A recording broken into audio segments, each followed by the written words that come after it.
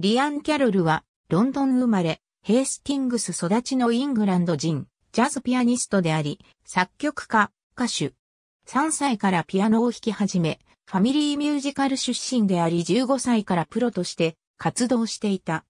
キャロルは、ポール・マッカートニー、ジェリー・ラファティ、レディ・スミス・ブラック・マンバーゾーなど著名なアーティストと共演し、キャロルはリードボーカル兼ワーリッツァー奏者としてドラムンベースバンドロンドンエレクトリシティにも参加している。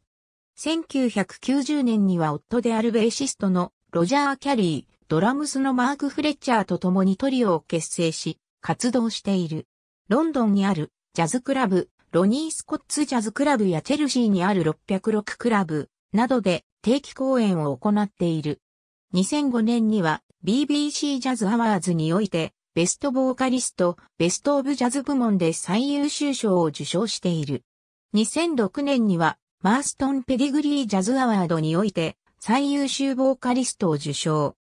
2007年9月にリリースされたアルバム、スローダウンは絶賛され、サンデータイムズが行った読者投票において、その年のベストアルバムトップ5に入っている。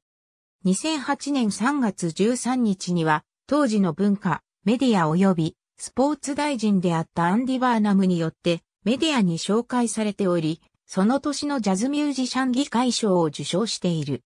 ありがとうございます。